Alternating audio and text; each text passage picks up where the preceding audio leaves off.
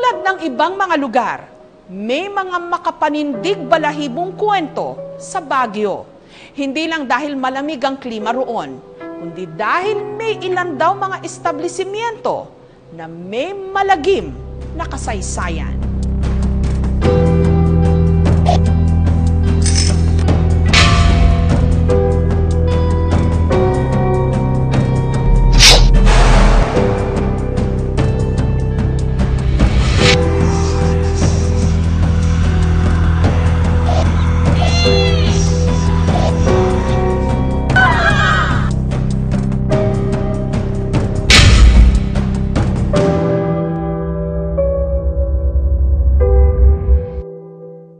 Ako po si Zane Bondok, 25 years old, taga Pangasinan.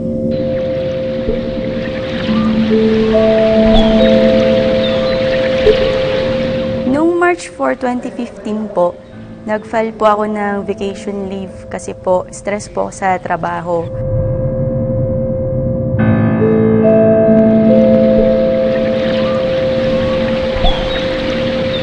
Dalaw po kaming nagpunta dito sa Baguio. Kasi po malamig, tapos maganda po yung ambience.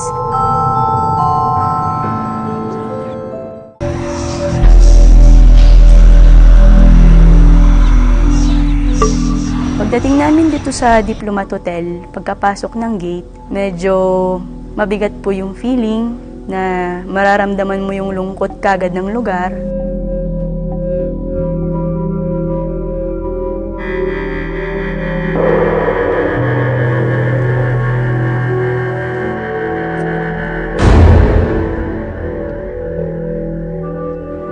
Sobrang tahimik.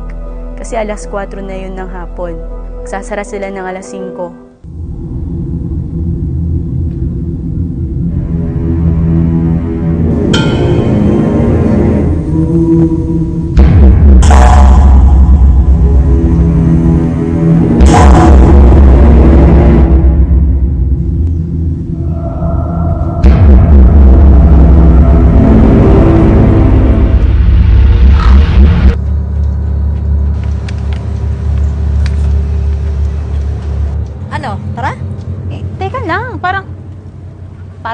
Pakiramdam ko dito eh. Ano ka ba? Magpipicture lang naman tayo. Tara na. Ah, ma'am. Ah, alas 4 na ho. Ah, last ikot na ho yan. Hanggang alas 5 lang ho kami. Dapat wala na hong tao. Sige po. Sabi po nung guard, bilisan nyo lang po yung pag-ikot o pagbisita po dyan kasi hanggang alas 5 lang po. So, pumasok po ako, nagpaiwan po yung kasama ko sa lobby. Kahit na hindi ko pa po nakita yung mga pictures po sa loob. Na-imagine ko po, anong klaseng buhay o sino-sino yung mga naging comfort women dito. Kung yun ba ay yung mga nakatira lang dito o pinupulot na lang kung saan-saan. Kung anong feeling nila kasi dito na rin sila pumanaw. Tapos po nandun na kami sa loob. Kinuhanan ko po ng video tong lugar, 360 degrees angle po. Pag mula pataas, pababa, para po ipakita sa mga Facebook friends ko po yung itsura nung Diplomat Hotel po dito sa loob. Habang kinukuhanan ko po yung video di- dito po sa loob, parang ang dami pong nakatitig sa akin na hindi ko po maiwasang hindi tumingin sa mga bintana na parang gusto ko na lang po matapos yung pagkuha ko po ng video kaya saglit, saglit lang po yun.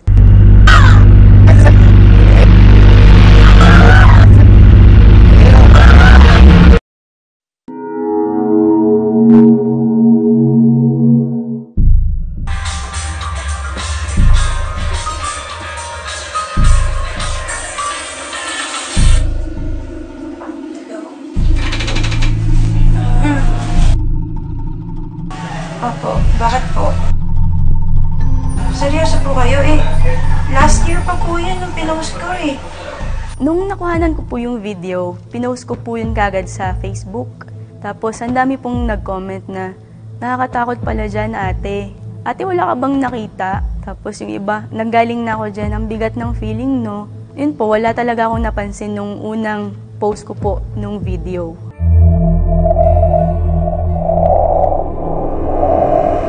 One year, nirepost ko po yung video o yung tinatawag nating throwback.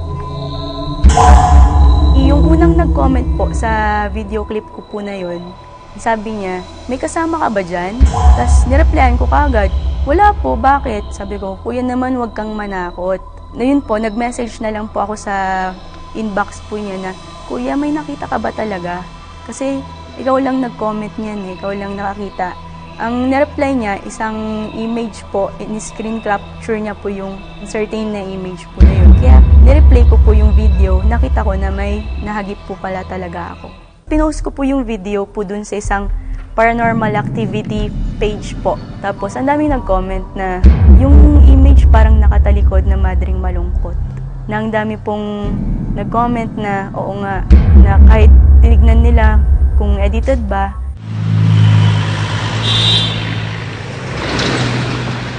After ko po nanggaling dito sa Diplomat Hotel, nung umuwi po ako ng bahay, mas naging active po magparamdam yung mga entity sa akin.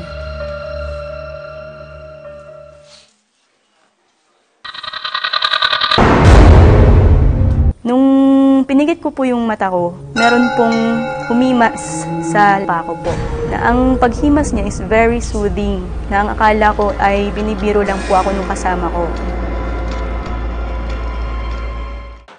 Tapos po may kumatok. Nung pagkabukas po ng pinto, andun po pala yung kasama ko sa labas. Saan ka galing? Ha? Di ba nagpaalam ako sa'yo na may lakad kami after work? Pagkagaling ko po ng Diplomat Hotel, pag-uwi ko po ng bahay na naginip po ako ng nakabukas ang mata ko.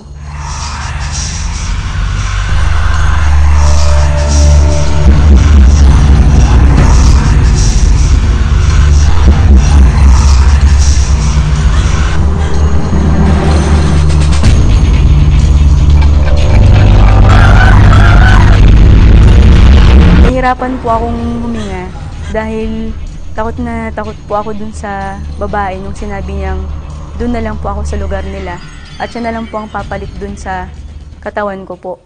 Nung pinipilit ko pong gumising, na kahit kinukurot ko na yung sarili ko, sumisigaw, hindi po ako magising-gising hanggang sa may tumawag ng pangalan ko na Sane. Nung narinig ko yung pangalan ko, bigla po akong napadilat.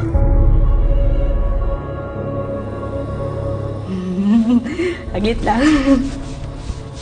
Tumay, wala mo.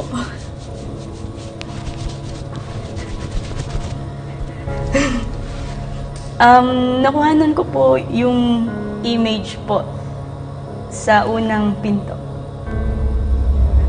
Ano pakiramdam mo ngayon? Tumayo lahat ng balahibo ko.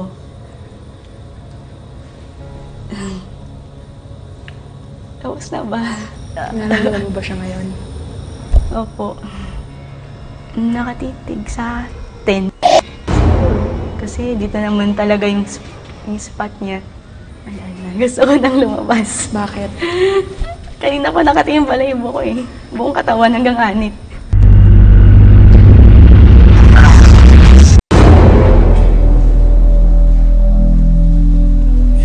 Ako po si Janelle Montero. Pumunta po kami ng Baguio para po umattend po ng YNCA National Congress for College Students. Papunta kami ng diplomat, parang lumalamig na ng lumalamig. Bali una, nag-picture muna kami. Picture ng picture. Hindi ko namamalayan na feeling ko may mga nakaano sa amin, nakapalibot.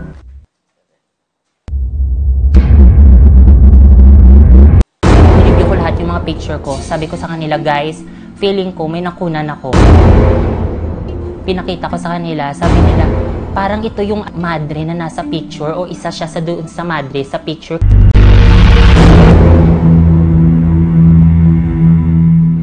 Hi, I'm Andrea Tatad. I'm one of the two assistant directors for Diplomat Hotel.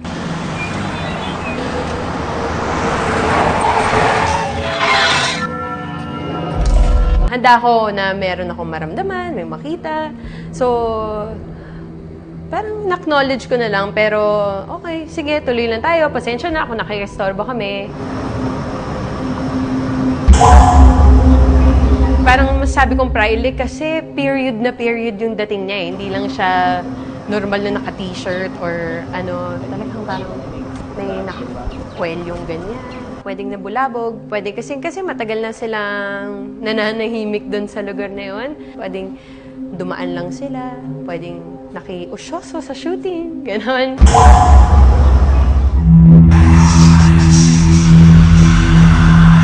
Bumalik po ako noong April 2016 para i-confirm po kung totoo po yung nakuhanan kong video.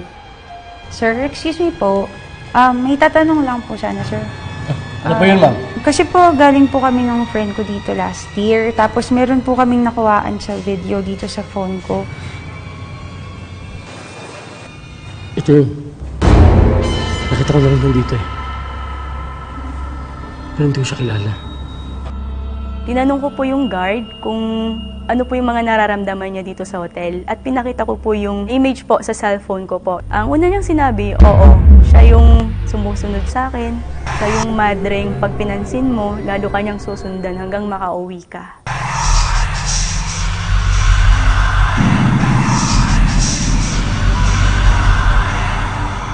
Ako po si Rodrigo E. Pagador Jr., ah, 29 years old. Ah, dalawang taon na po akong gwardiya at isang taon na akong nagbantay sa Diplomat Hotel.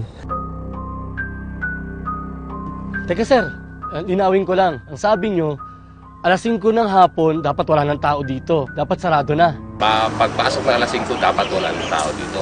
Magdamag talaga ako dito, sir? Oo, kaya mo ba? Uh, oo naman, sir. Trabaho to eh. Nung sinabi po sa akin na mag-duty ako dito sa Diplomat Hotel, ah, medyo nag-alangan po ako at medyo natakot. Kasi nga po ah, may mga kwento-kwento tungkol sa mga multo-multo dito.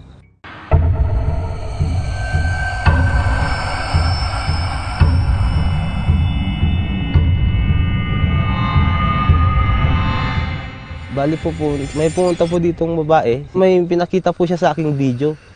Nung tinignan ko po yung video, parehas na parehas po yung nakita ko at saka yung nasa video. Kaya nagulat po ako na kinilabutan. Ah, karaniwan po sa mga namamasyal po dito ng mga turista, yung nasisira po yung mga phone nila or kaya nagbi-video sila or nagpi-picture, hindi po nagsisave sa gallery or bigla pong nag-drain yung battery ng cellphone nila. May mga nagsasabi din sa akin na may nakuhanan sila ng picture.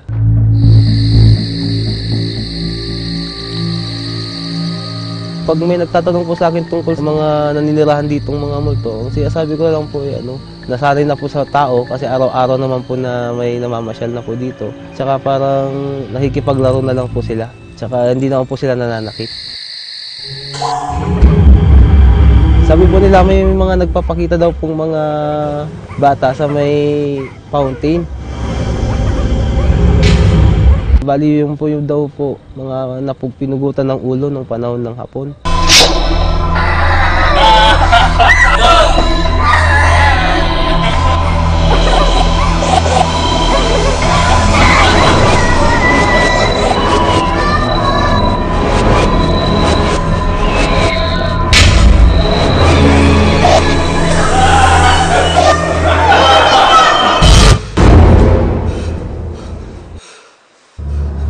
Paikot-ikot lang po yung mga bata sa baba, naglalaro. Ah, kasi sabi po nila, yun daw po yung bloody fountain. Marami po kasing mga pinugutan ng ulo.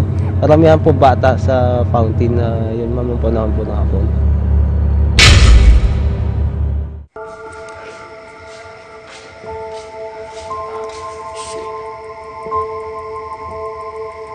Natandaan ko po yun, ah, December 1, alas 12 po ng tanghali. May mga grupo ng mga taga Manila po na namasyal dito. Yung isa po, sabi niya, hindi na daw po siya papasok.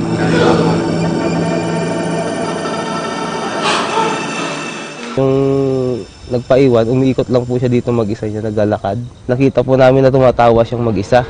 Then kinabahan na po yung mga kasama niya, kaya bumaba na po sila.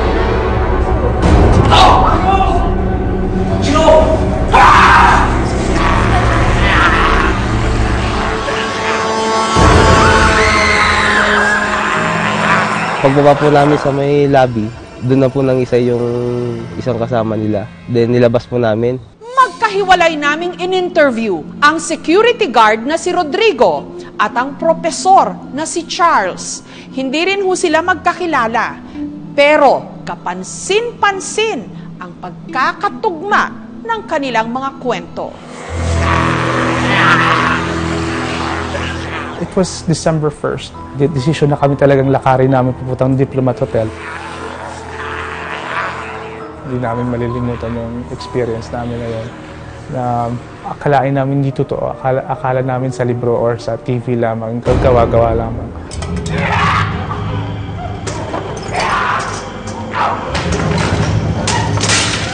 Nawalan siya ng malay. Tapos biglang umiba ang, ang boses niya.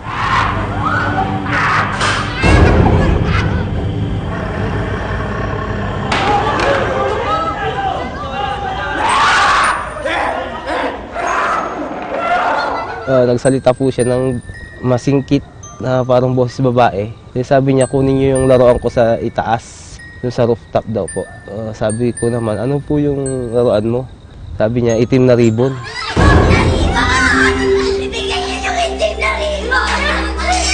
Sinabi niya po mismo kung saan banda ko makikita sa may silong daw po ng upuan. Eh, nakyat ko po. Pagtingin ko sa silong ng upuan, meron po ako nakitang itim na ribbon. Nung narinig ko na po yung boses niya na parang boses babae, saka po yung pinakuha niya yung ribbon sa taas, hindi naman po siya umakyat. Yun na po, parang kinalaburan na po ako at natakot.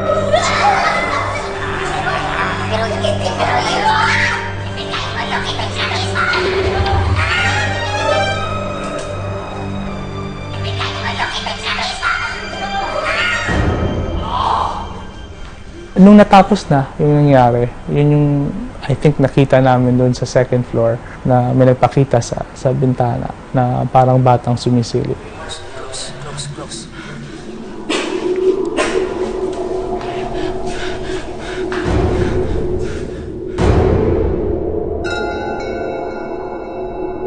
Pag sa gabi po, pag umikot po kami dito, ah, madilim, ah, wala pong ilaw dyan sa loob.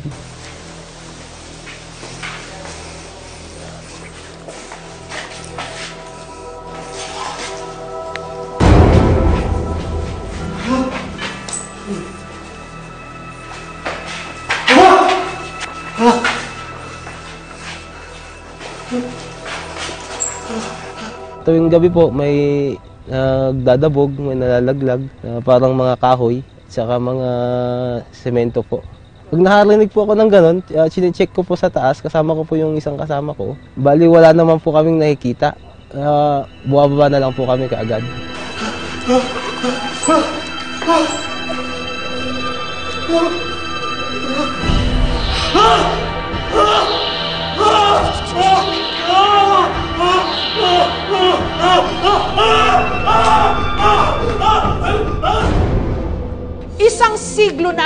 Lumipas mula nung itinayo ang Diplomat Hotel. Pero bago raw ito naging hotel, bahay bakasyunan ito ng mga pare at ng mga madre. Ako po si Arturo A. Alhambra. Ako po isang ah, historian po ng ah, Baguio.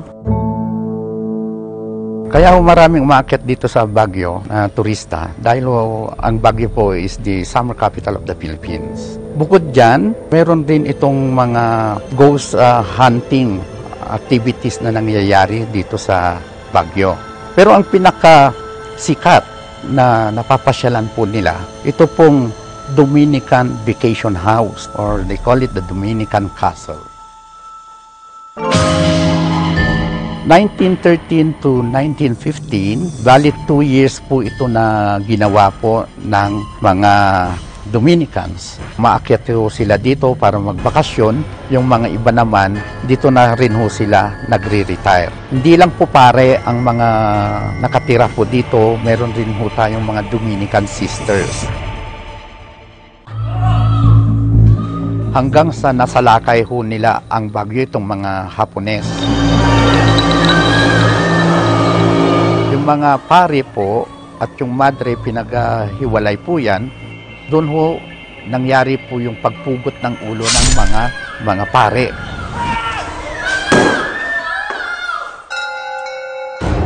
Hanggang sa nung natapos po yung digmaan, ni-reconstruct ho nila itong gusaling ito hanggang sa binenta nila ito noong 1972. Sa Diplomat Hotel Incorporated. Ang unang-unang general manager po dito, ito po ay isang faith healer, si Mr. Antonio Agpawa. Nagsara itong hotel noong 1984, na-stroke po si Mr. Antonio Agpawa, binawihan po siya ng ah, buhay. Dahil nga sa malaking utang ng Diplomat Hotel sa Development Bank of the Philippines, ibinalik nga ho ito sa management ng Malacanang. Nung hinawakan po ng Malacanang po ito, naging abandon po itong gusali na ito. Hanggang sa umabot na rin yung earthquake ng July 16, 1990, mas lalong ah, nagkaroon na mas maraming sira. Ako si Anna de la Cruz, isang psychic.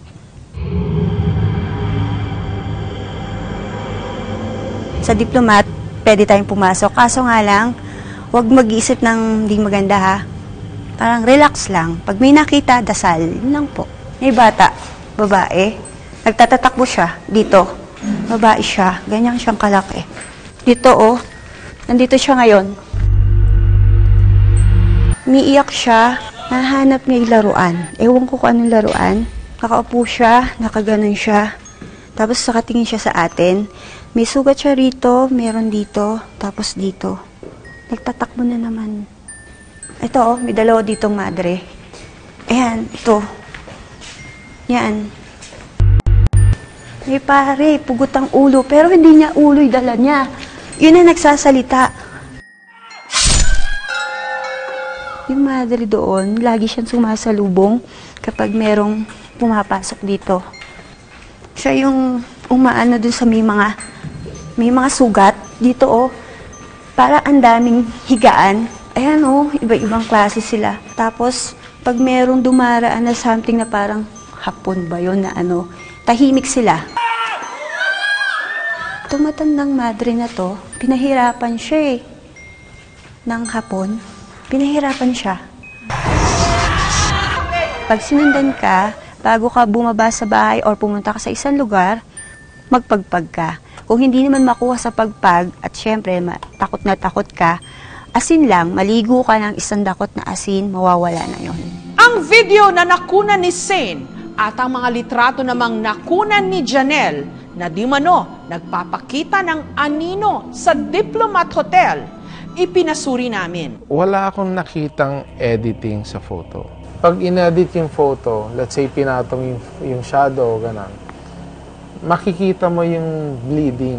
Pag sinave siya, magkakaroon ng bleeding sa ibang edges na iba yung kulay. Questionable siya, pero hindi ko rin masasabing hindi paranormal. Pero pag pinag-uusapan yung pag-edit ng photo, wala akong nakitang ah, editing na fake na pinasok sa photo. For me, totoo siya kasi wala na yung tao dun sa time na yun eh. At saka yung guard, nasa labas siya. Kaya totoo siya yung picture. Unang pumasok sa akin is mold siya sa glass.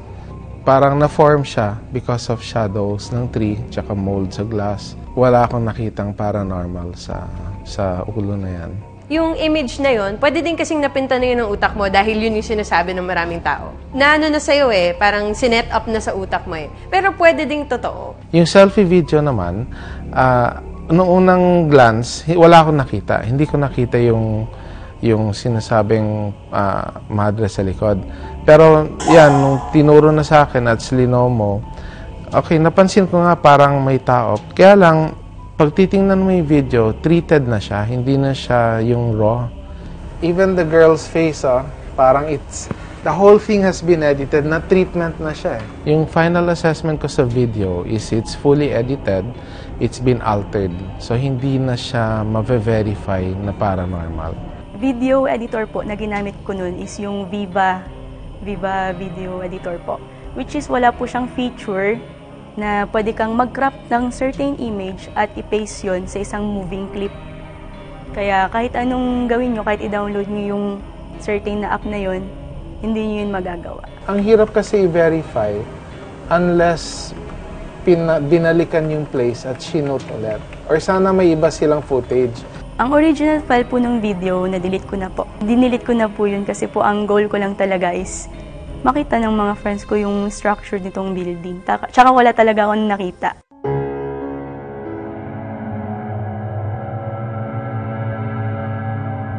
Ako si Father Jeffrey Habano, Parish Priest ng St. Vincent Ferrer Parish, sakop ng aking parokya, itong place na ito, Diplomat Hotel. Sa tingin ko, dalawang posible doon. Pwedeng totoo, pwedeng hindi.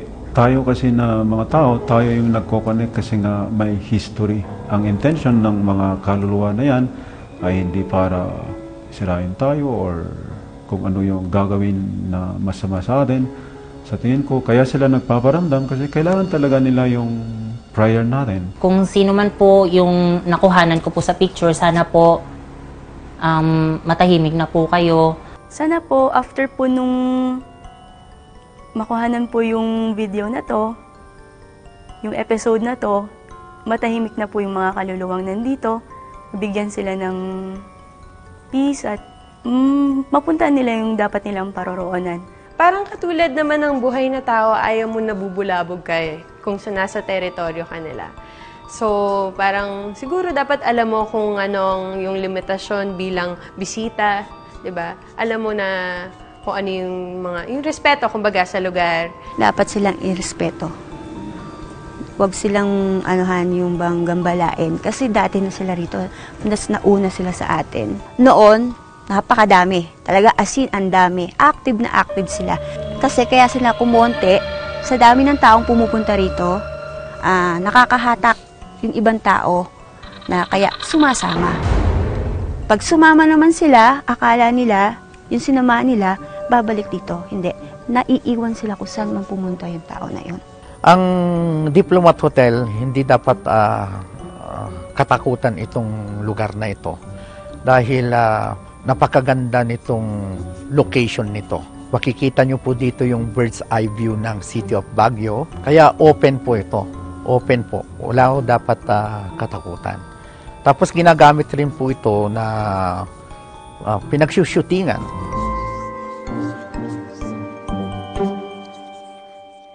Ako po si Father Matthias Nyare OP. We always pray them because in the Dominican Order, every Monday is a tradition that we pray for our brothers, sisters who pass away and we offer mass for them. So because we always pray for them and if they have been a good spirit, they are in heaven, then they are pray for us. So we believe that our brothers, sisters of Dominicans are not among those who are holy the people. In the name of the Father, the Son, and the Holy Spirit. Amen. Almighty God, you sent your only Son to rescue us from the slavery of sin and to give to us the freedom of your children.